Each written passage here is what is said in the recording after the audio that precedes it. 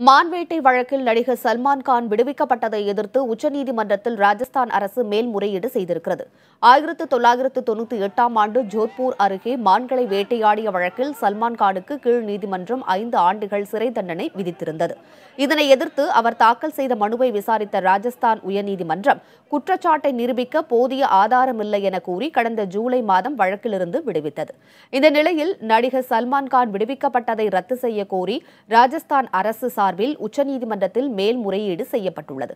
மான்கள் வேட்டையாடப்பட்ட சம்பவத்தில் சன்மான்கானுக்கு எதிராக போதிய ஆதாரங்கள் இருப்பதால் கீழ் நீதிமன்றத்தின் தீர்ப்பு உறுதி செய்யப்படும் என ராஜஸ்தான் உள்துறை அமைச்சர் குலாப் சந்த் கட்டாரியா நம்பிக்கை தெரிவித்திருந்தார்.